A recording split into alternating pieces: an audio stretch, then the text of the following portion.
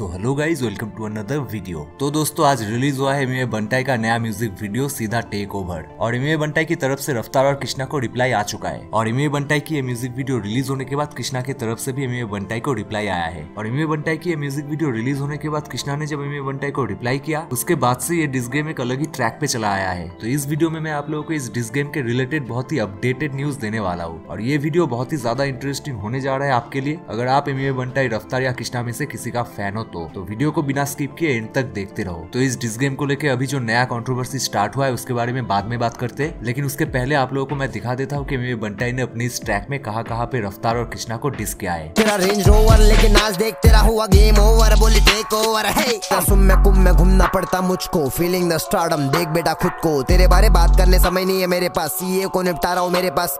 तारा समय पे तारा खुला तो बेचारा बोलेगा खुद को। भुगतो काम करो रुको। मैं कैसे करता हूँ? इन्हें सोचने दो। हर जगह नहीं जाता मैं।